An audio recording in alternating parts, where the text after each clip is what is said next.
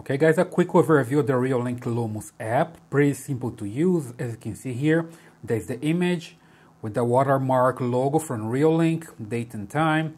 And also here, sometimes you can see an icon for motion detection. And here's the camera name. You can change the position of the name, the date, and everything else here. You can pause and continue with the video, live video here in this case. And also here, audio live Okay, now audio is coming from the camera live. I can mute again. Here I just take a picture and goes to the album that I have here. I just come here and I select the album here and I can see the picture that I just took from the camera. Pretty simple to use. Okay, back here to the camera. I can do the same with video. I just click here and start recording video. You can see here the detail. It's recording right now and I can stop. Of course, it's, recording all the time in the SD card, but I can also record uh, whenever I want. And I just click here and comes to the uh, to the album the same way. I come back here and album, and then I can see here there's something recorded. Okay, so I can play it. Pretty simple, pretty good quality of the recordings and everything else because this camera is pretty good back here. Uh, I can change from low, low resolution to 1080p okay? And also I can come here and go full screen so I can invert my cell phone. And here the menu I can turn on the spotlight the siren and also change here to view of the camera that I have connected to my system here using Reolink. I have four camera in total here. I can see all of them at the same time so I'm just come back here and see more details that I have. I have channel selection. So channel selection, I can choose all the camera that I have and I can come back here to Lumus and I can do also day and night control directly from here. Let me just, just leave in auto, it's better the way immersive. I can see all of the camera at the same time. If I'm using a lot of cameras, sometimes I can have a problem with the network like this, okay?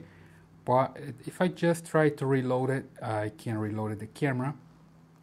But that's because I'm using a lot of camera at the same time. And something also interesting here is the picture in picture. So I can see here the picture, I can move, put in the different places, and it's pretty easy, pretty interesting come back to the normal mode. And here I can play back something that I have recorded. As you can see here I just choose the date. I have different dates recorded I can see here. And then I have this menu that's pretty interesting. As you can see here I'm moving. Here's this small squares and I can see uh, that something is moving here positioning the time that was recorded okay? And I just click one of them. It brings the recording. It's pretty easy to control this. And if I wanted to export a video I just come here and click this icon here. Let me just click it. You see? I'm going to record this part and I can just adjust if I want to to export a little bit less. Then I click here and I download to my folder. Pretty easy to do this. I can also share. And if I come back here, I can see on my album the one that I exported. Okay, as you can see, pretty fast to do this.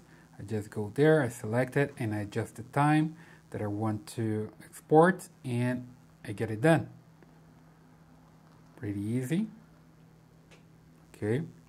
And let me show now a little bit of the menu. So have a lot of different options. Starting here with the camera details you have the device info here. You see firmware version and everything else. Uh, network I can choose the network here. I can switch. Let's say for example I want to switch from the main network to another one. I have different networks here that I can switch to pretty interesting. Other cameras doesn't have this feature, have to reset the camera and start over. That's not the case here, you can just switch the network. Pretty simple. And display, you can control, you can rotate the display. it's upside down now. You can also change the quality here for the clear and for the fluent, change the resolution and frame rate for both of them. Anti-flicker, so it doesn't flick your screen. You have 60 Hertz, 50 Hertz, depending where you live, or auto. And day and night, I always leave an auto here, and when it's night, it changes to the night function. Camera name, so I can change the name here and the position, okay? on the top, on the center, whatever I want to, to move the name here. And the same with the date, I can change the position of, of the date here in the screen and also remove the Reolink watermark or bring it back. See, it's back. Privacy mask, pretty interesting also. I can draw mask here and I can cover the area so it doesn't record what's behind the area it records, but the privacy mask is there, right? You can't see. And here have uh, auto noise, mirroring, menu, some advanced stuff that I can play with. And it's pretty uh, easy to just navigate here and understand what you're going, what you have to do with the display, for example. And here, let's see more motion detection. So you can adjust zones. You can uh, select here the zones that you don't want to receive alerts about and I can also erase or just delete all and then you save and just hit cancel here because I'm not saving those changes you can also adjust the sensitivity here okay what else I have here I have push notification motion recording I can record on SD card for example and also in the cloud Pretty simple. Push notification so I can receive notification on my cell phone and email alerts. I configure my email here. I can receive alerts from the camera.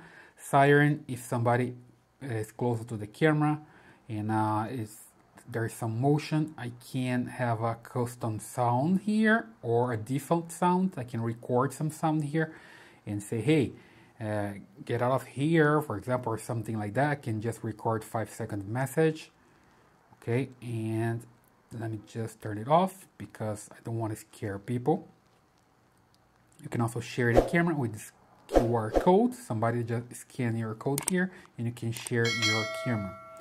And advanced settings here using management. You can create your users and can uh, manage your users here. Uh, infrared. I always leave my infrareds on but you can put it off if you want to. And also the spotlight is the same. You can turn it on or off automatically or you can do manually okay and the status LED of the camera. So if, if you don't want to show the status LED on the camera you can just turn it off here. So pretty easy. Okay you can also delete the camera here so you don't show it anymore. Pretty easy to use here and it's pretty uh, intuitive the way you can use this app and it works for uh, Reolink Lumus and for the other cameras from Reolink.